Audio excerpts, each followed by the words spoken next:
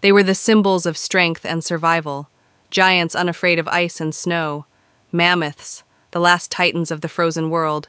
Thousands of years ago, the northern lands were covered in endless ice. Only the strongest creatures could survive here. Mammoths roamed in massive herds across the frozen plains of Eurasia and North America. Their tusks could reach over three meters long, and their skin was thicker than armor. With dense fur and a thick layer of fat, they were perfectly built for the cold. But around 10,000 years ago, everything changed.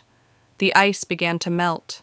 The climate warmed, and the tundra turned into forests. The mammoth's main food sources disappeared, and then came a new predator humans. People hunted in groups, used spears and traps, and one kill could feed an entire tribe for weeks.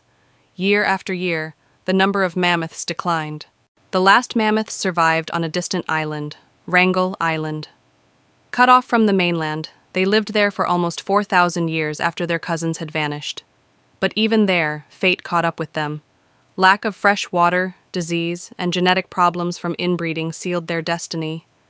When the last mammoth fell, the era of titans was over. Today, Thousands of years later, scientists still find mammoths perfectly preserved in ice their fur, their skin, even their eyes. Frozen in time, they remind us of one thing even the mightiest creatures can fall when the world around them changes.